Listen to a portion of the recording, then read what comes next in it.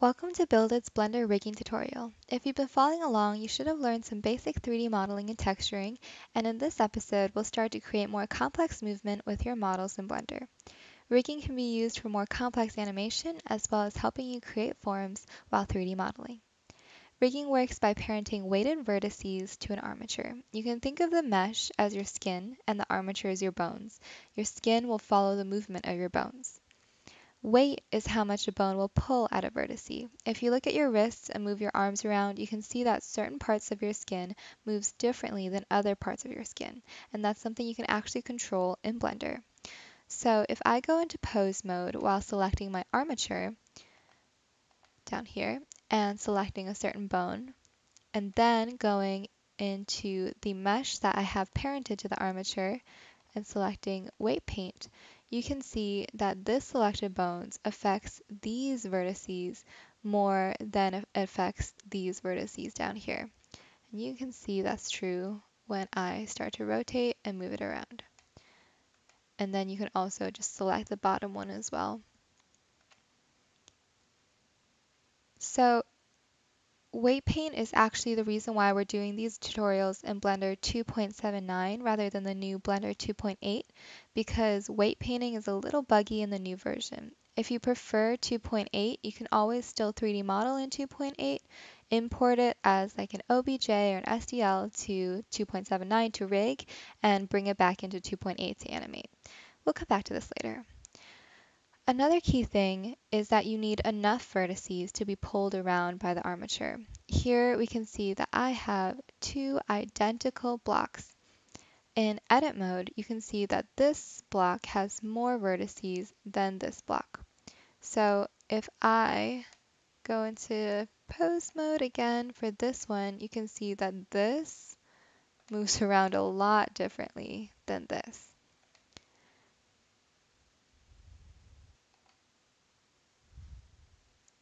Now let's move on to a more real-world example of using rigs by doing a simple stick figure.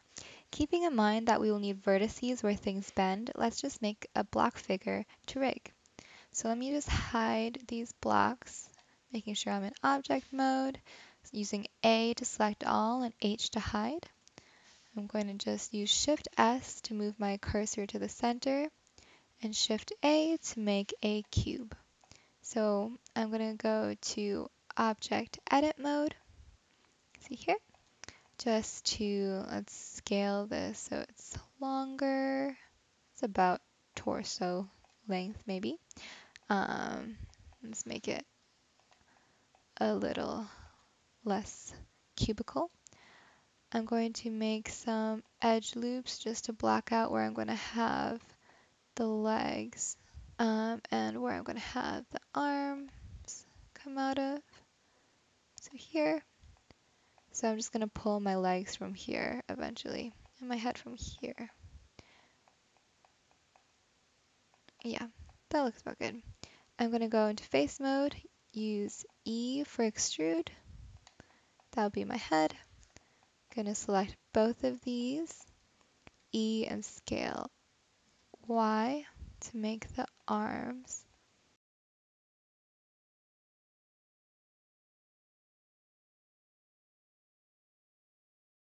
And then let's pull out the legs from here. So E again. And then make sure I'm at Z so that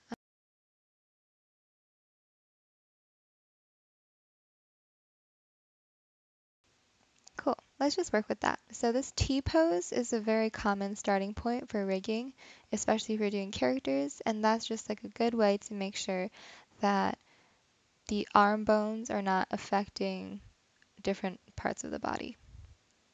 So let's also, while we're keeping in mind that we need to be able to make him move, I'm going to add some edge loops for the elbows. So let's say three, and I'm going to scale Y them to 0.4. Do the same thing on the other side. Scale Y, 0.4 and then scale for the knees, scale Z point three.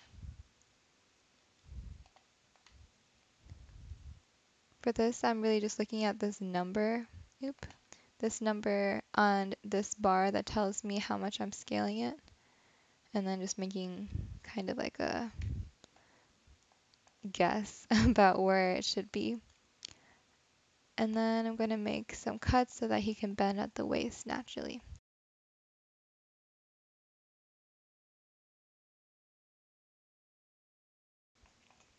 So now let's make our first bone. I'm just going to do Shift A, armature, single bone. Because I can't see it while it's inside my mesh, I'm going to go on the properties bar where this little person is, that's our armatures, and then I can do x-ray so that I can see it through my mesh. Then I'm going to just drag it down to maybe like where his waist would be, and then go into edit mode. So this first bone I'm going to make into my base bone and a base bone is just really good practice so that you can just grab your whole model around without really messing with the bones that are actually doing something. So I want to turn this rig around so I'm going to do shift S, cursor to selected, and then rotate, oops, I forgot to turn my pivot point into the 3D cursor, and then rotate Y so that it's at 90 degrees. And this is just so that it's more obvious that this is the bone that we should be using to grab the whole model with. So all of the bones will be parented to this bone. So then while I'm selecting this, I'm going to select, make my first spine bone. So I'm going to do E, Z to extrude upwards with that bone.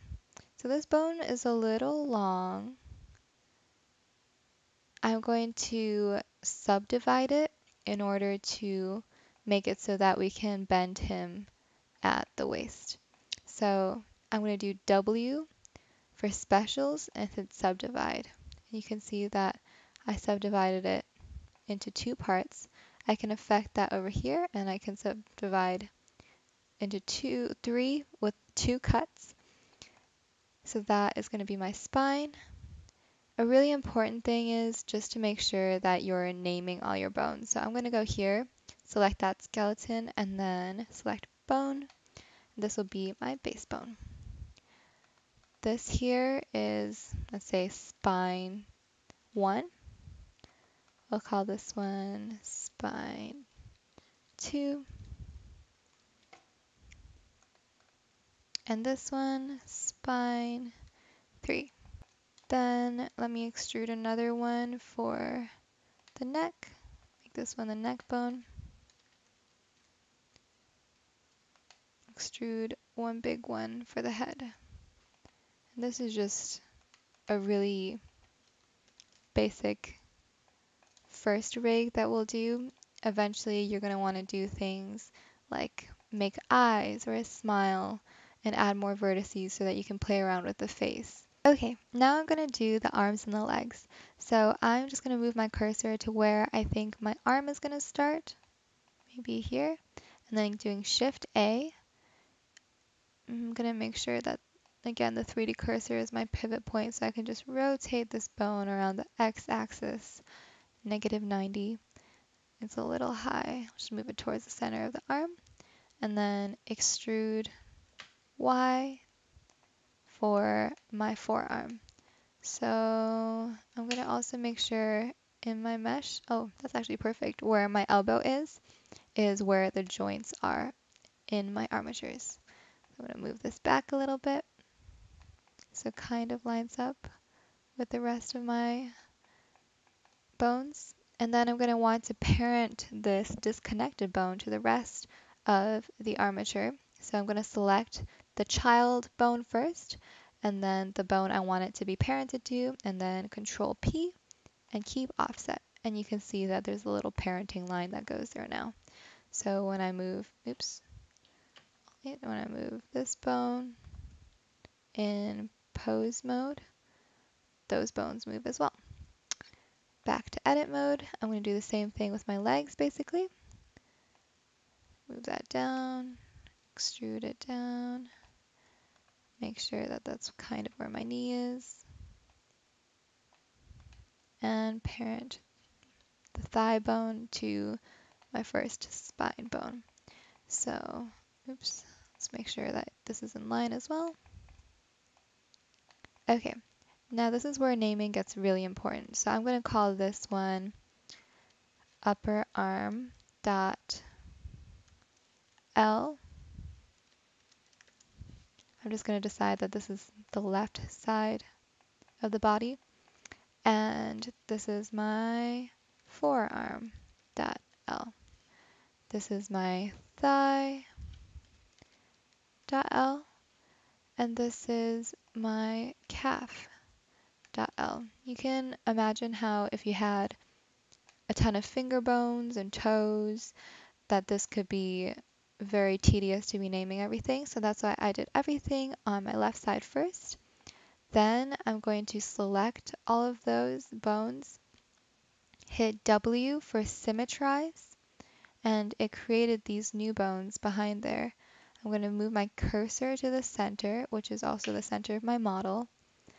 Then I'm going to do scale Y negative 1 so that all those bones are mirrored on the other side. Now if I select them, you can see that these names turn to dot .r for right. So that's just a neat little thing that Blender does for you. So now that my rig is ready, I'm going to want to parent my mesh to my rig. So I'm first going to select my mesh, then the armature. I'm going to do Control P and make sure that I'm selecting Set Parent to Armature Deform with Automatic Weights.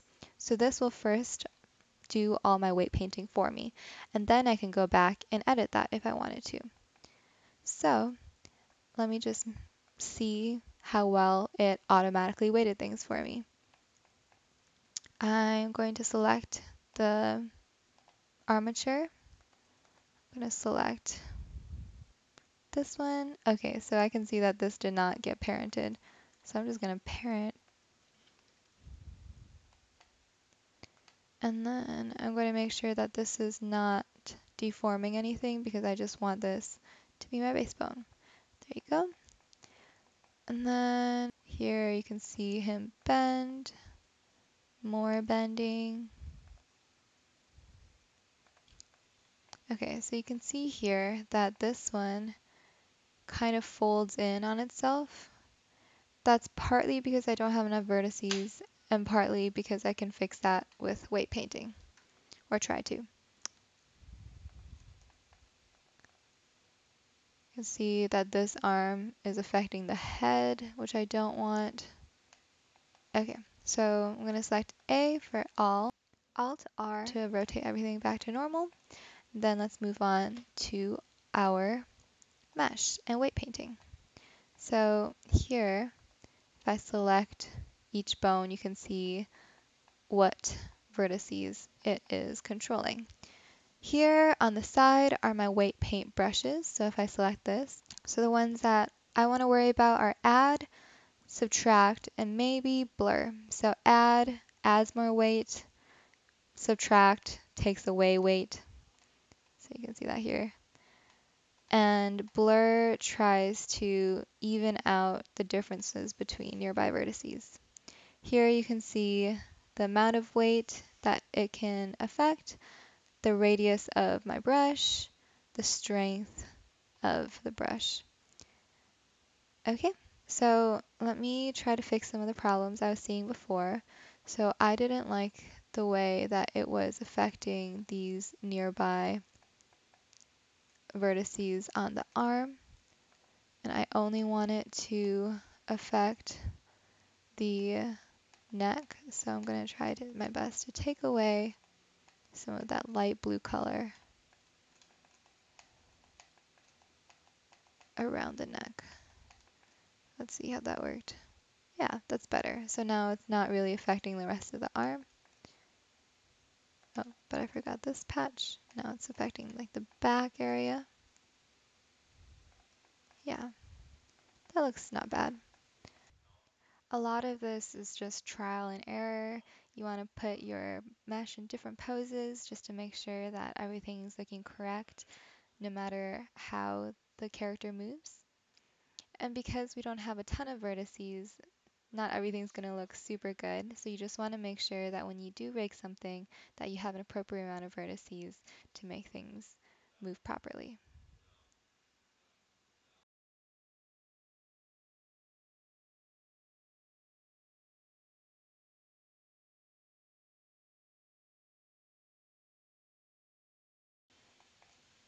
And that's it. So now you can go into pose mode. You can still play around and see if there's any weird things happening. But you can put him into poses. And you can even save his model to look like the pose that you gave him. And that is the basic rigging tutorial.